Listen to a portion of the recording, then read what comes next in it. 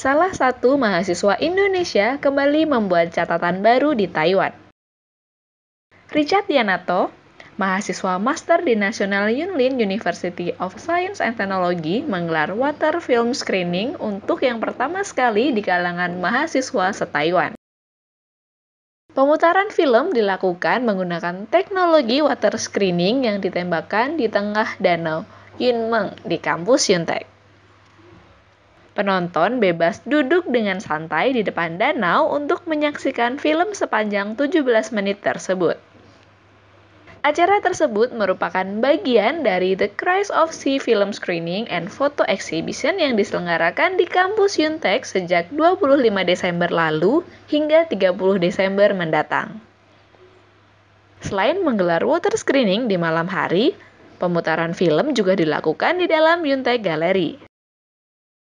Film dokumenter tersebut menceritakan tentang kisah ABK LG yang bekerja di Taiwan mereka harus bekerja di laut selama enam bulan hingga tiga tahun.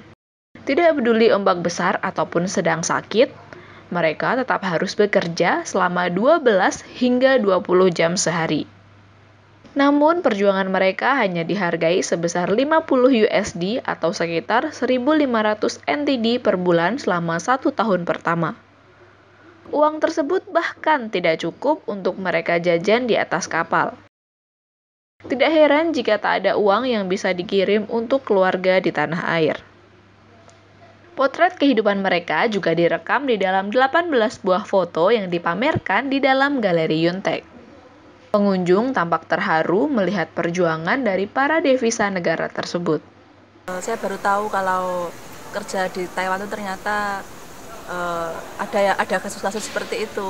Baru baru tahu setahu saya uh, kerja di Taiwan tuh gaji standar jadi uh, lebih tinggi dari Indonesia. Tetapi setelah melihat film itu ternyata kasihan sekali banyak warga Indonesia yang nasibnya kurang beruntung kerja di kapal.